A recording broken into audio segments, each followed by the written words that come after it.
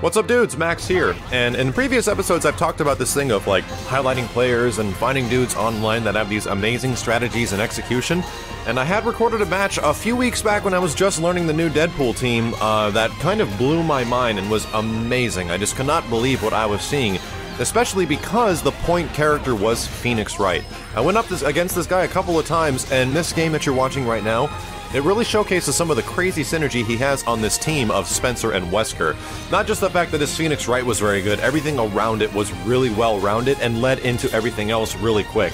It's one of those things in Marvel is if as long as your combo is uninterrupted and you have something at the end of your combo, it's always a mix up and you always need to have that and this is kind of a perfect example of it and you just can't get out. So let's watch the rest of this match and I'll break down something for you.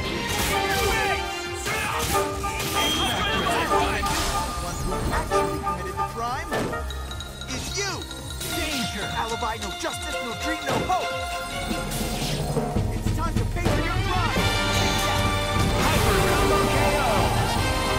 One of the first elements of synergy I wanted to show off was at the start when he gets traded with a jab from Deadpool, but Maya does this, the special move that allows her to sweep off the ground. Even though Phoenix got hit out of it, it puts Deadpool in a hard knockdown state, and Wesker comes out to pick up the OTG, and he can just follow up with whatever he wants after. After that combo turns into an aerial rave brought back down, and the same Maya special move that picks up off the ground as well launches Deadpool into Spencer's grapple assist, which puts them back in a neutral state, making Spencer's grapple one of the best combo assisting assists in the entire game, which gives Phoenix Wright the ability to land another hold it going into a raw stun state where he can pick up as much evidence as he essentially wants.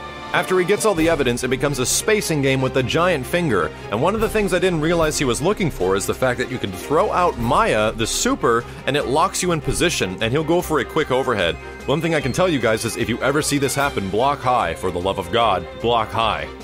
And this last bit might actually be my favorite part. As Akuma comes in, Spencer locks Akuma into place with a zipline and also calls the Phoenix Wright missile assist, which hits low as he's diving in with a high attack. So if you don't get out of this in time, it's going to be a high low mix up and sometimes unblockable if he also does a high attack.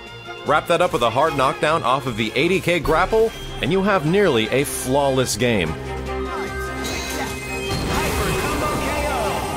Some extremely impressive stuff, and I could not help but showcase it. If you guys did enjoy the video and showing off some of this crazy Phoenix Wright, leave me a comment below. As always, my name is Max, and I'll see you next time.